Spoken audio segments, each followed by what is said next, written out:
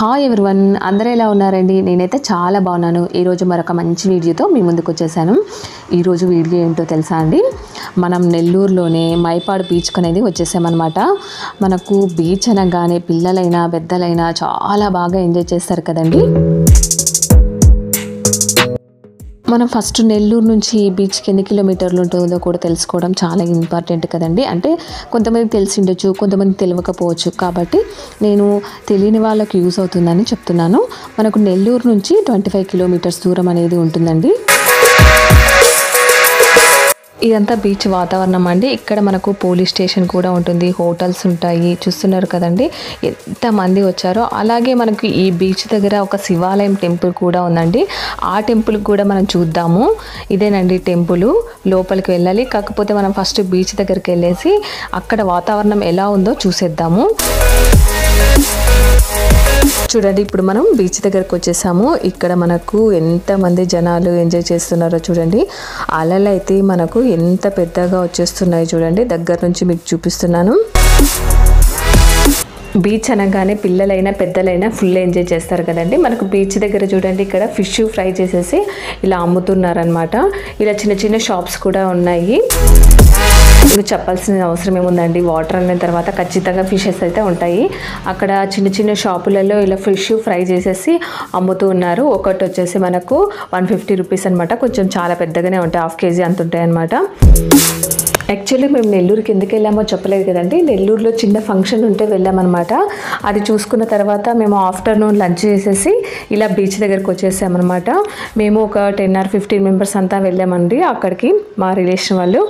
ఆ బీచ్ చూద్దామనేసి వెళ్ళాము. నెల్లూరు నుంచి మనకు ట్వంటీ ఫైవ్ కిలోమీటర్సే కాబట్టేసి అంది వేలో కదా చూద్దామనేసి వెళ్ళామన్నమాట. ఫుల్ ఎంజాయ్ చేసామండి బీచ్లో అయితే. మేము ఆఫ్టర్నూన్ త్రీ తర్వాత వెళ్ళామన్నమాట. కాకపోతే వాతావరణం ఎండగా కాకుండా కొద్ది మబ్బులు మబ్బులుగా వర్షం వచ్చేటట్టు ఉంది కాబట్టి మేము ఫుల్ ఎంజాయ్ చేసాము. కొద్దిగా ఎండగా ఉంటే వెళ్ళలేకపోయే వాళ్ళము. బీచ్లో అయితే మనకు మొత్తం వాటర్ అంతా సాల్టీ సాల్టీగా ఉంటుందండి. మనం ఖచ్చితంగా బీచ్లో వెళ్ళి అక్కడ మనము ఎంజాయ్ చేసిన తర్వాత ఖచ్చితంగా ఇంటికి వచ్చిన తర్వాత స్నానం చేసే తీరాలండి. ఎందుకంటే మొత్తం మనకు అది సాల్ట్ వాటర్ కాబట్టి మొత్తం మనకు ఆ నీళ్ళు కొద్దిగా నోట్లో వేసుకుంటే మొత్తం ఉప్పు ఉప్పు ఉండి అలాగే మనకు శరీరం మొత్తం జిడ్డుగా అనిపిస్తుంది. అలాగే మనకు ఇసుక కూడా డ్రెస్కి అంతా అక్కడక్కడ అతుక్కుంటుంది కాబట్టి మనం అస్సలు ఉండలేం. ఖచ్చితంగా ఇంటికి వెళ్ళి ఖచ్చితంగా స్నానం చేసి తీరాల్సిందే. బీచ్లో వచ్చేసి వన్ అవర్ అలాగా స్పెండ్ చేసామన్నమాట. తర్వాత మేము శివాలయం దర్శనం చేసుకుందాం అనేసి గుడి దగ్గరకు వచ్చేసామన్నమాట. మనకు బీచ్కి వెళ్ళే దారిలోనే శివాలయం ఉంటుందండి. చాలా పెద్ద టెంపులే. అది కూడా ఖచ్చితంగా చూడవలసిన టెంపుల్ అనమాట ఇప్పుడు మనం శివాలయం లోపలికి వచ్చేసామన్నమాట. చూస్తున్నారు కదండి లింగం అయితే ఎంత పెద్దగా ఉందో చూస్తున్నారు కదండి ఇదేనమాట లింగము. ఎంత పెద్దగా ఉంది కదండి. మనకు ఈ శివాలయంలో ఒక ప్రత్యేకత ఉందండి. అదేంటంటే మనకు అన్ని రాష్ట్రాలలో మెయిన్ మెయిన్ శివాలయాలు ఇక్కడ మనకు చిన్న చిన్న గో గోపురాలు తయారు చేసి అందులో స్వామిని ప్రతిష్ఠించారనమాట అవి కూడా మీకు చూపిస్తాను. చూడండి. ఇదైతే మెయిన్ టెంపుల్ అన్నమాట. మెయిన్ టెంపుల్లో స్వామి వచ్చేసి లింగాకారంలో మనకు దర్శనమిస్తారు. ఎందుకండి ఆలస్యం? లింగాకారంలో ఏ ఏ రూపంలో ఉన్నారో స్వామిని చూసేద్దాం. ఇక్కడ వరుసగా కనపడుతున్నాయి కదండి. గోపురాలు చిన్న చిన్న టెంపుల్స్. అవే అనమాట శివాలయాలు. ఫస్ట్ మనము సుబ్రహ్మణ్యేశ్వర స్వామిని దర్శనం చేసుకుందాం. సుబ్రహ్మణ్యేశ్వర స్వామిని దర్శనం చేసుకున్న తర్వాత శ్రీ విఘ్నేశ్వరుడు అంటే ఔరంగాబాద్లో మనకు అంటే మహారాష్ట్రలో ఈ స్వామి ఉన్నారంట. ఇంకా నెక్స్ట్ వచ్చేసి రామలింగేశ్వర స్వామి అంటే రామేశ్వరం అంటే తమిళనాడు రాష్ట్రంలో మనకు ఈ స్వామి ఉన్నారు. ఇలా తొమ్మిది లింగాలు ఉన్నాయండి. అన్నీ కూడా చూసేద్దాము. శ్రీ నాగేశ్వర స్వామి ఆలయం అన్నమాట. ఇది ద్వారకాలో ఉందండి. గుజరాత్ రాష్ట్రం అనమాట నెక్స్ట్ శివాలయానికి వెళ్ళిపోదాము. ఇక్కడ వైద్యనాథేశ్వరుడు అండి.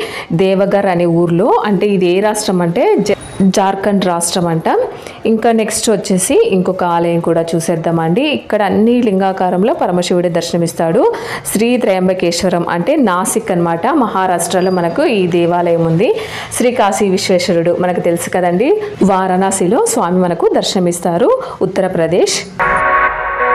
ఇంకొక దేవాలయం దర్శనం చేసుకుందాం. శ్రీ భీమేశ్వరం. ఇక్కడ శ్రీ భీమేశ్వరుడు భీమశంకరం అనే ఊర్లో ఉంటుందండి. ఇది ఏ రాష్ట్రం అంటే పూణే మహారాష్ట్రలో ఉంటుందన్నమాట.